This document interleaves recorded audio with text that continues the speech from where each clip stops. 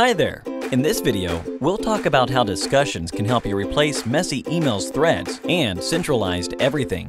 With discussions, it becomes easier to collaborate on issues and share feedback at one central place for better communications. It not only eliminates your dependency from lengthy email threads, but also saves a lot of your time spent on meetings. Let's begin with creating a new discussion topic. Give it a title, some description, and add people to receive notifications for the activities within this topic.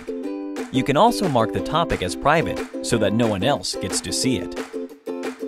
Let's now post a new comment and attach a couple of files. You can attach files from your computer, the ones previously uploaded on ProofHub, or even from third-party apps.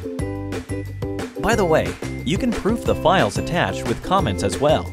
You can also post comments to this topic via email each topic gives you a unique email-in address where you will email your comments and files for adding them to the discussion topics. Once the discussion is over, you may archive it. Well, that's all about discussions. Thank you for watching and see you in the next video.